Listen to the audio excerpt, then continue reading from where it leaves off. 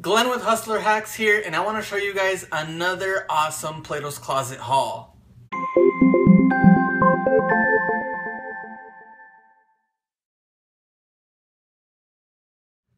So first off, I got these Air Max CB34s, Barkleys, and I got them for $40.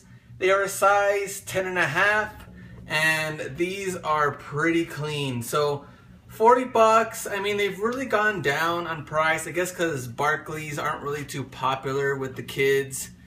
So, you know, like it's not like Durant, Kobe's, and Kyrie's, Jordans.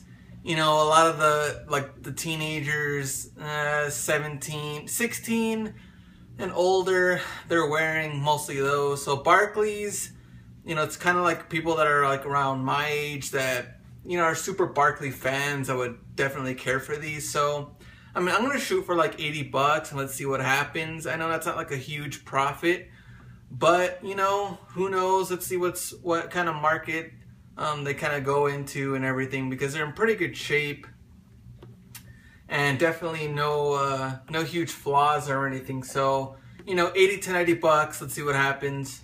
More Barkleys, Barkley Posite Max, and I think these were like 260 when they came out, or I'm not too sure. I know they were like pretty expensive, and um, they've really gone down in price. I think you can find some on clearance for like 150 range. So I'm gonna shoot again for about 90 to 100 bucks and see what I can get for them. I got these for $30 and they're size 11. You can see here. And there's a little bit of flaws here and there. You can see some chipping. Um, but once again, I mean, not too bad, especially for 30 bucks. If they don't sell, yes, I am going to keep these. And last, the crowd favorite, some Jordan 13s cement gray, aka gray toes. And these, I was like, ah, they gotta be fake for sure. But I was looking at them and look at the tag, look at the bottom, look at all the details, and nope, they were real. They were only $30, I think. Yeah, 30 bucks, and they are a size 11 and a half. And, you know, I guess what, why they priced it so low, because they do have like some creases and like some snags and stuff. Um, most, uh, I guess the ones you can tell the most are like right here. You can see there's like a huge scratch and one over here.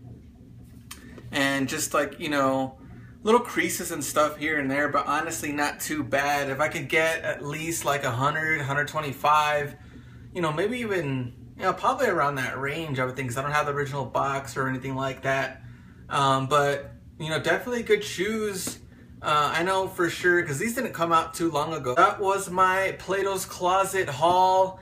I'm not too sure if someone just needed money. Maybe their angry girlfriend wanted to just trade in a bunch of shoes and uh, you know get whatever for them. Because honestly, Plato's Closet they're not gonna give you that much. I mean, if I got if I paid thirty bucks for these, how much do you think they gave you know the person that traded these in? Probably like ten, or yeah. I mean, how much? Because they gotta make money. So how much money are they really making on these? They're selling them for thirty bucks. I mean, really, really crazy. Um, personally, even if I didn't know much about eBay, I'd find somebody that did just so I could sell them. I really wouldn't take them to Plato's Closet. And I've seen people take clothes and stuff and they tell them like a dollar or, you know, of course a lot of stuff they wouldn't even take, but I don't know, they're really, really weird. Um, but it's good, good for sourcing though, uh, if you can get great deals like these. So if you like these finds, you can find me on Instagram, Hustler Hacks. Subscribe to me here on YouTube. My name is Glen with Hustler Hacks go out and get some G's.